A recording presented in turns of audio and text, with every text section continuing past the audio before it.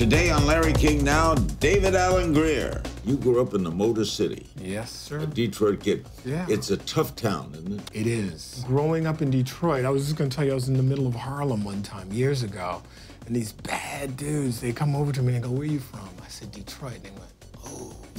Everybody talked about doing a black SNL. Keenen talked about the same thing, but he actually pulled it off. What a cast. Jim Carrey, Jennifer Lopez, Jamie Foxx. Mm-hmm. We made each other laugh every day, all day, and so I couldn't wait to get to work. Plus, being on Broadway. One time I forgot my lines, yet I said gibberish in the rhythm of the play and the dialogue, and nobody knew. You know, it was like something where I went, and you know you did it.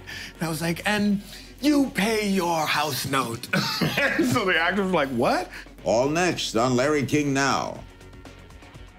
Watch new episodes of Larry King Now Monday through Thursday on demand on Hulu and Ora.tv.